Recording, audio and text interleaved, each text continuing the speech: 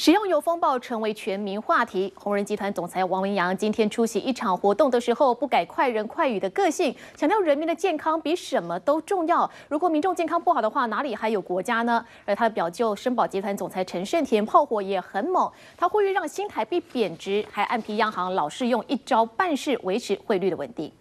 混油、免子油，民众已经无力分辨吃什么才能安心，基本需求无法满足，就连大老板。都看不下去。不管做什么，都要凭良心，品质要做好。好久没露面，身兼申宝董事的王文洋和表舅陈胜田六号一同出席申宝活动。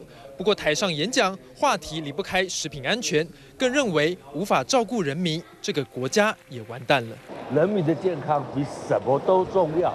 一个国家就是人民嘛，人民是最重要的啊。人民的健康不好的话，哪有国家？